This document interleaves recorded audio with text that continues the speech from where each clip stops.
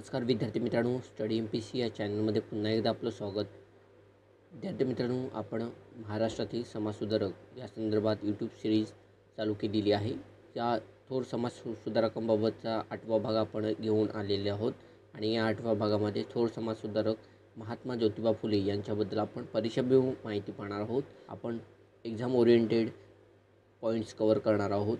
Skip न करता पूर्ण पहा विद्यार्थी मित्रांनो लेक्चर लेक्चर सुरू करण्याअगोदर जर तुम्ही चॅनलला नवीन असाल स्टडी एम पी सी तर स्टडी एम पी सी शेजारी दिसणारा जे सबस्क्राईब नावाचे जे लाल बटन आहे त्याला क्लिक करून ठेवा आणि शेजारी बेल आयकॉन प्रेस करून नोटिफिकेशन ऑल करून ठेवा जेणेकरून येणाऱ्या प्रत्येक लेक्चरची अपडेट तुम्हाला त्वरित मिळेल. सो आपण लेक्चरला सुरुवात करू. महात्मा ज्योतिबा फुले यांच्याबद्दल आपण माहिती पाहणार आहोत. त्यांचा जन्म अकरा एप्रिल अठराशे सत्तावीसमध्ये झाला. लक्षात ठेवा जन्म आहे तो अकरा एप्रिल अठराशे सत्तावीसमध्ये जन्मठिकाण आहे. धनकवडी पुणे या ठिकाणी त्यांचा जन्म झाला. पुणे जिल्ह्यातील धनकवडी या ठिकाणी. ओके लक्षात ठेवा. पूर्ण नाव त्यांचं ज्योतिराव गोविंदराव फुले. ओके महत्त्वपूर्ण आहे. त्यांच्या आईचं नाव चिमणाबाई आणि त्यांचं मूळ आडनाव आहे ते गोरे. ओके फुले हे त्यांचं नाव जेव्हा त्यांचे आजोबा पुण्यामध्ये आले तेव्हा ते फुले विकण्याचा व्यवसाय करत असत. त्यामुळे त्याच्या नावावरून त्यांना फुले असे नाव पडले आणि त्यांचं मूळ आडनाव लक्षात ठेवा गोरे. ओके तुम्हाला प्रश्न विचारला जाऊ शकतो की महात्मा ज्योतिबा फुले यांचं मूळ आडनाव काय तर गोरे ओके त्यांचं मूळ गाव सातारा जिल्ह्यातील खटाव तालुक्यातील कडगुण हे त्यांचं मूळ गाव. लक्षात ठेवा मूळ गाव पण तुम्हाला विचारला जाऊ शकतो यावरती प्रश्न. मूळ गाव आहे खटाव तालुक्यातील सातारा जिल्ह्यातील कडगुण हे त्यांचं मूळ गाव ओके? अठराशे चौतीस ते अठराशे एकोणचाळीसमध्ये त्यांनी प्राथमिक शिक्षण पंतोजींच्या मराठी शाळेत त्यांनी पूर्ण केलं होतं. पंतोजी म्हणजे विनायकराव जोशी यांच्या मराठी शाळेत त्यांनी अठराशे चौतीस ते अठराशे एकोणचाळीस दरम्यान त्यांनी प्राथमिक शिक्षण मराठी शाळेतून पूर्ण केलं. त्यानंतर अठराशे चाळीसमध्ये त्यांचा विवाह सावित्रीबाई फुले यांच्याशी झाला. ओके महत्त्वपूर्ण आहे. गप्पार बेग मुळशी कृषी धर्मोपदेशक मिस्टर लेजिट साहेब यांच्या उपदेशामुळे त्यांना अठराशे एक्केचाळीसमध्ये स्कॉटिश मिस्टरांच्या इंग्रजी शाळेत प्रवेश घेऊन अठराशे सत्तेचाळीसपर्यंत या शाळेत सातवीपर्यंत शिक्षण त्यांनी पूर्ण केलं. महत्त्वपूर्ण आहे. गफ्फार बेग मुन्शी आणि ख्रिस्ती धर्मोपदेशक मिस्टर लेजिट साहेब यांच्या प्रयत्नामुळे किंवा उपदेशामुळे अठराशे एक्केचाळीसमध्ये त्यांना स्कॉटिश मिशनरींच्या इंग्रजी शाळेमध्ये प्रवेश मिळाला आणि अठराशे सत्तेचाळीसपर्यंत त्यांनी या शाळेत सातवीपर्यंत शिक्षण पूर्ण केलं. ओके? त्यानंतर अठराशे अठ्ठेचाळीसमध्ये लहुजीबुवा साळवे यांच्याकडे ढाल तलवार दांडपट्टा गोळीबार करण्याचे शिक्षण त्यांनी त्यांच्याकडे घेतलं. महत्त्वपूर्ण आहे. विद्यार्थी मित्रांनो यावरती प्रश्न येऊन गेलेला आहे. महत्त्वपूर्ण आहे. ढाल तलवार दांडपट्टा गोळीबार करण्याचे जे शिक्षण महात्मा ज्योतिबा फुले यांना कोणी दिलं होतं? अठराशे अठ्ठेचाळीसमध्ये त्यांचे मित्र सदाशिवराव गोवंदे यांच्या विवाहप्रसंगी निघालेला मरवणुकीत त्यांचा उच्चवर्णीयांकडून अपमान त्यांना सहन करावा लागला होता. महत्त्वपूर्ण आहे. त्यानंतर ते सामाजिक कार्याकडे वळाले या प्रसंगातून ओके?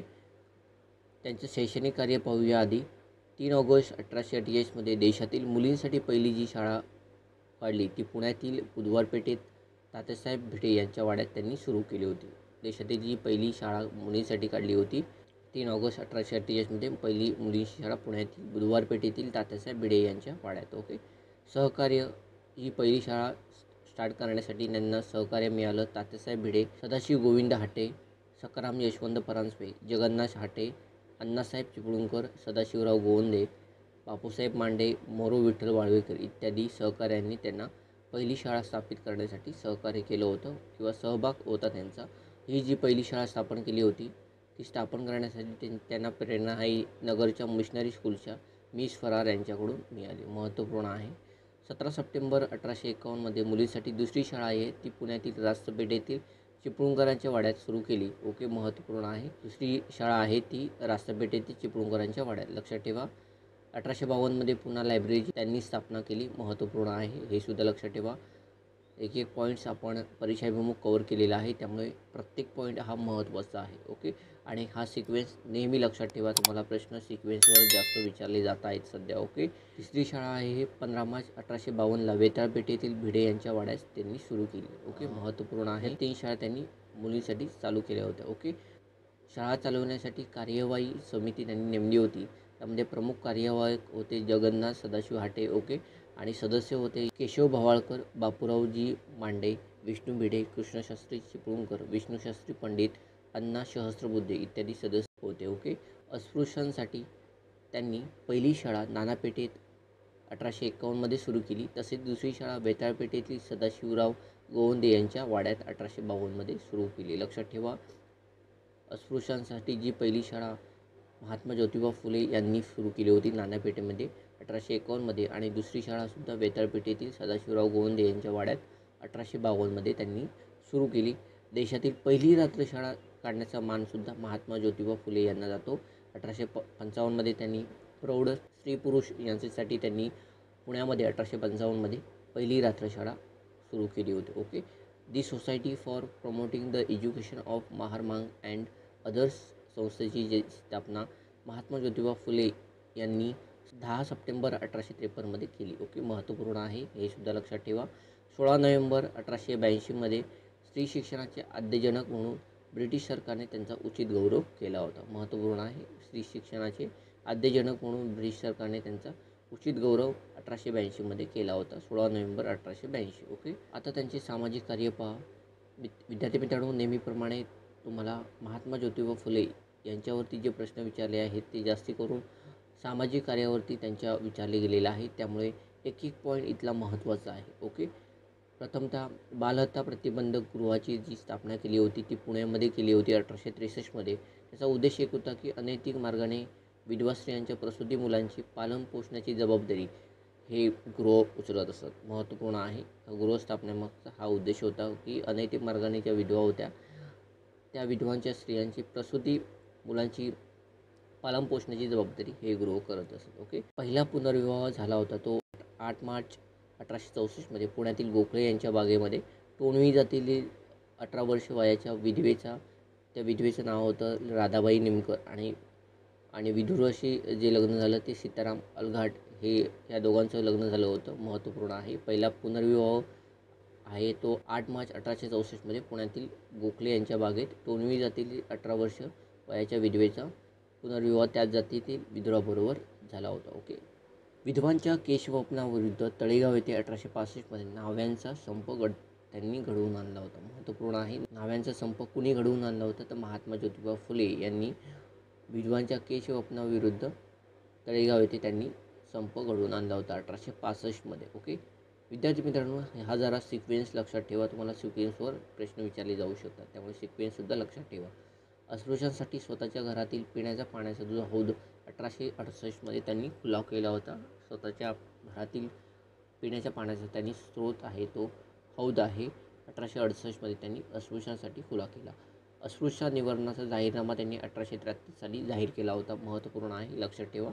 अस्पृश्यता निवारणाचा जाहीरनामा अठराशे त्र्याहत्तर साली त्यांनी जाहीर केला.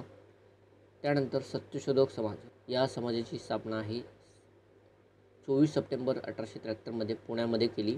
ध्येय एकच होतं की समाजातील विषमता नष्ट करणं तळागाळातील समाजापर्यंत जाऊन शिक्षण पोचवणं त्यांच्यापर्यंत. हे ध्येय सत्यशोधक समाजाचं होतं. ओके? सत्यशोधक समाजाच्याबद्दल आपण माहिती पाहूया. समाजाचं ब्रीदवाक्य होतं सर्वसाक्षी जगतपती त्याला नगो मध्यस्थी. हे समाजाचं ब्रीदवाक्य होतं. प्रमुख तत्वावरती आधारित समाज होता.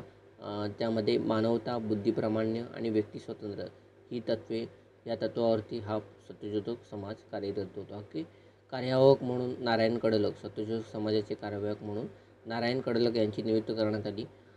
त्याचप्रमाणे महात्मा ज्योतिबा फुले स्वतः या समाजाचे पहिले अध्यक्ष व खजिनदार होते. महत्त्वपूर्ण आहे. सत्यशोधक समाजाचा प्रमाण ग्रंथ महत्त्वपूर्ण आहे. हा ग्रंथ सार्वजनिक सत्यधर्म आहे महत्त्वपूर्ण आहे. या समाजाचे मुखपत्र आहे ते दीनबंधू आहे. महत्त्वपूर्ण आहे. लक्षात ठेवा. काशीबाई या ब्राह्मण विधवेच्या मुलास अठराशे चौऱ्याहत्तर साली महात्मा ज्योतिबा फुले यांनी अडॉप्ट केलं होतं. महत्त्वपूर्ण आहे.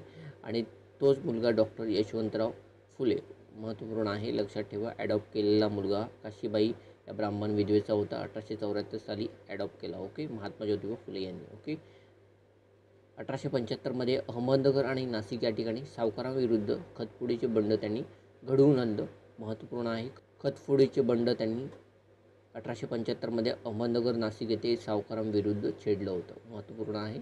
अठराशे शहात्तरमध्ये पुणे कमर्शियल अँड कॉन्ट्रॅक्टिंग कंपनीची स्थापना महात्मा ज्योतिराव फुले आणि Krishnarao Bhalekar Pune commercial and contract company अठराशे शहात्तर ओके अठराशे शहात्तर ते अठराशे शहाऐंशी दरम्यान पुणे नगरपालिकेचे ते सदस्य होते. महात्मा ज्योतिबा फुले हे पुणे नगरपालिकेचे सदस्य किती वर्ष होते? दहा वर्ष होते. अठराशे शहात्तर ते अठराशे शहाऐंशीपर्यंत अठराशे सत्याहत्तरमध्ये शिक्षणाचे सार्वजनिक करण्याचा आणि सक्तीच्या शिक्षणाचा ठराव त्यांनी मांडला होता.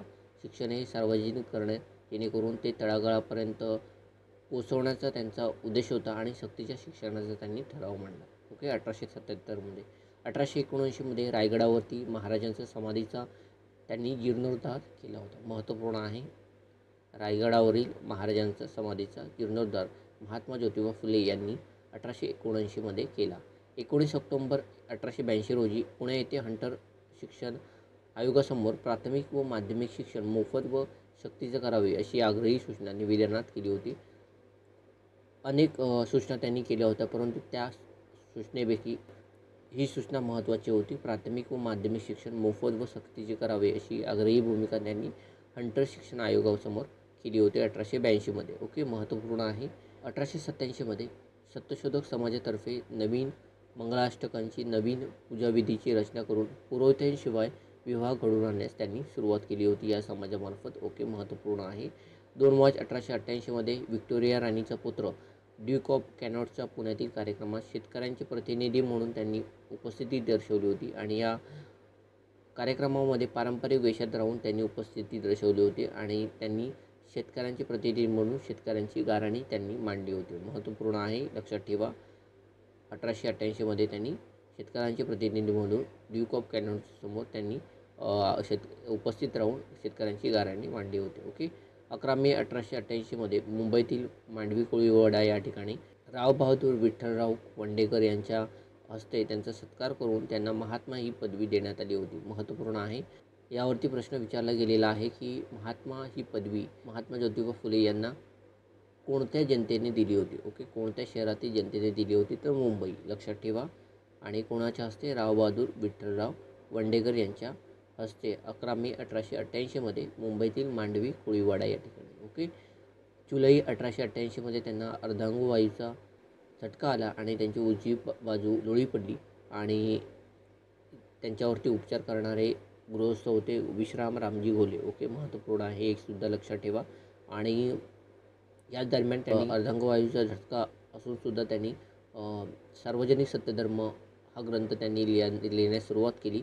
आणि तो ग्रंथ आहे तो मरणोत्तर प्रकाशित करण्यात आला अठराशे एक्क्याण्णव. त्यांचा मृत्यू अठ्ठावीस नोव्हेंबर अठराशे नव्वदमध्ये पुण्यामध्ये झाला. लक्षात ठेवा अशा थोर समाज सुधारकाचा मृत्यू अठ्ठावीस नोव्हेंबर अठराशे नव्वदमध्ये पुणे जिल्ह्यात झाला. ओके? आता त्यांच्या ग्रंथसंपदेबद्दल माहिती पाहूया. तृतीय रत्न जे नाटक त्यांनी लिहिलं होतं अठराशे पंचावन्नमध्ये त्या नाटकाचा उद्देश होता की शूद्रांच्या स्थितीचे वर्णन त्यांनी केलं होतं या नाटकामध्ये. महत्त्वपूर्ण आहे तृतीय न रत्न नाटक अठराशे पंचावन्नमध्ये त्यांनी लिहिलं होतं. ब्राह्मणांचे कसं कसं हा ग्रंथ अठराशे एकोणसत्तरमध्ये त्यांनी लिहिला. त्याचा उद्देश होता मागासांसाठी राखीव जागांची संकल्पना त्यांनी मांडली आणि या ग्रंथांची जी प्रस्तावना लिहिली होती ती बाबा पदमजी यांनी लिहिली होती. लक्षात ठेवा ब्राह्मणांची कसब या ग्रंथाची जी प्रस्तावना लिहिली होती ती बाबा पदमजी यांनी लिहिली होती. गुलामगिरी हा ग्रंथ एक जून अठराशे त्र्याहत्तरमध्ये लिहिला होता.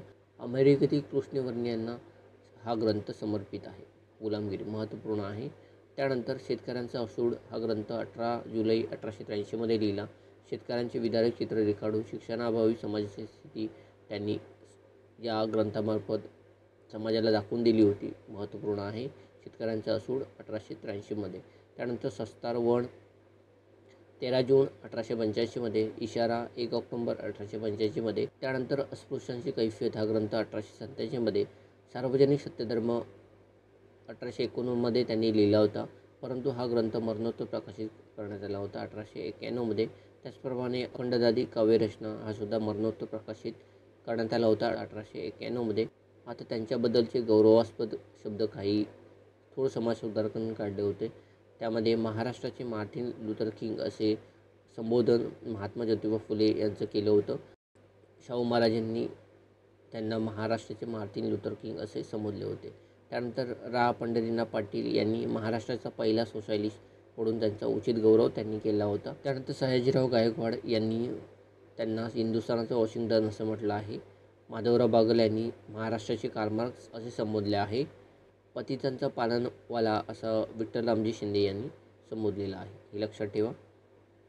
त्याचप्रमाणे महात्मा ज्योतिबा फुले यांच्यावर टीका करणारी काही वृत्तपत्रं होती. ज्ञानप्रकाशक प्रभाकर विविध ज्ञानोत्सार निबंधमाला ही काही टीका करणारी त्यांच्यावरती वृत्तपत्रे होती. आणि महात्मा ज्योतिबा फुले यांचे कौतुक करणारी काही वृत्तपत्रे होती. सत्यदीपिका सुबोध पत्रिका आणि ज्ञानप्रकाश ही त्यांची कौतुक करणारी पत्रिका होती. त्यांच्यावर जो प्रभाव होता तो थॉमस पेन यांच्या काही पुस्तकांचा त्यांच्यावर प्रभाव होता. त्यामध्ये of man justice and humanity common sense age of reason अशा प्रकारे विद्यार्थी मित्रांनो आपण एक्झाम ओरिएंटेड माहिती या लेक्चरमध्ये पाहिलेली आहे. त्यामुळे हे लेक्चर खूप इम्पॉर्टन्स होतं. जर तुम्हाला लेक्चर आवडलं असेल तर लाईक करा कमेंट करा आणि न विसरता आपल्या विद्यार्थी मित्रांना जास्तीत जास्त शेअर करा जेणेकरून अशाच प्रकारचा प्लॅटफॉर्म त्यांनासुद्धा उपलब्ध होईल. येणाऱ्या लेक्चरचे अपडेट मिळवण्यासाठी अजूनपर्यंत चॅनलला सबस्क्राईब केलं नसेल तर चॅनल सबस्क्राईब करून ठेवा विद्यार्थी मित्रांनो. जेणेकरून येणाऱ्या प्रत्येक लेक्चरचे अपडेट तुम्हाला त्वरित मिळेल. तुर्तास आपण थांबू इथंच. भेटू पुन्हा पुढील लेक्चरमध्ये.